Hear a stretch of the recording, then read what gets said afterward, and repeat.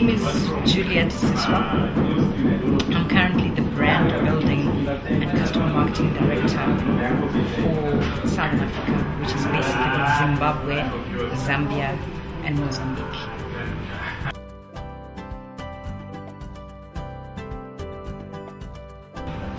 I am a very energetic and passionate person, and I feel the only area that could match my passion was going to be marketing anyway because marketing, marketing or rather brand building is about action is about activity is about stuff happening.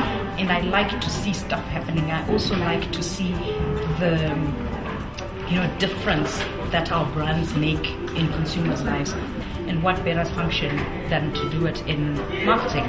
So that's why i chose to work in this um, function. And not only that you also get to work across the functions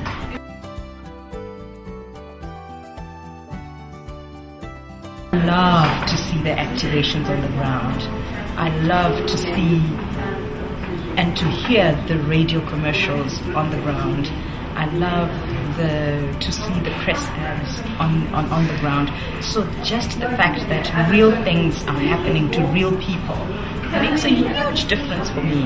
Many a time I listen to the radio or I watch TV and it's just completely inspiring and very fulfilling to see the changes that are being done. I also take time to go into the trade. I also take time to go into the road shows and the activations that we do. You should just see the excitement that comes out of people's faces just by the experience, the experiential marketing that we do really, really lives up to the Unilever mission of making a difference in people's lives. So that I enjoy the most.